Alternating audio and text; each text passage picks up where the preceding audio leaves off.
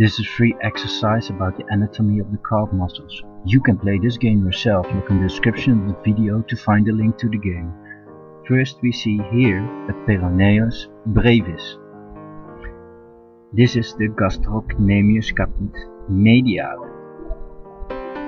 This is the Peroneus longus. This is the gastrocnemius caput laterale.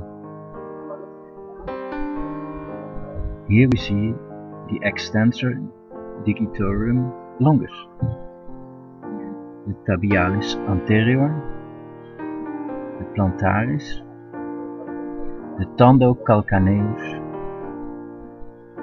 gastrocnemius, soleus,